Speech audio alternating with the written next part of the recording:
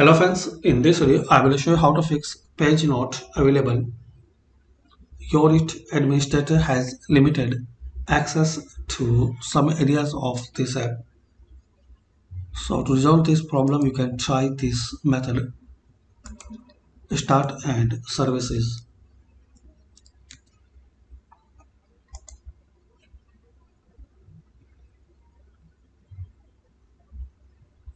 Here guys you have to find out.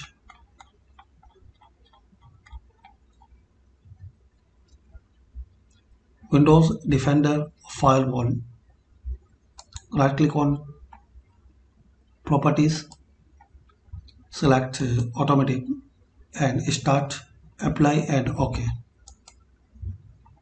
Similarly you have to find out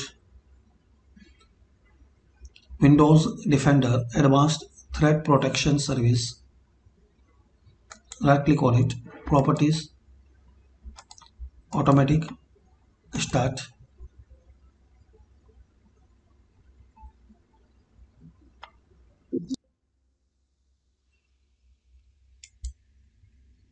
Click on apply and click on ok.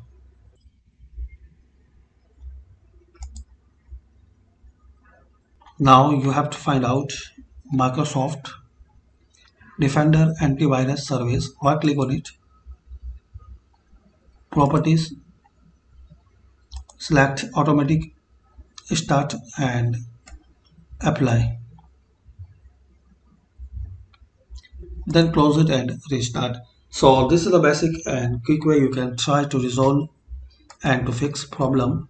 Page not available your it administrator has limited access to some areas of this app Thanks for watching.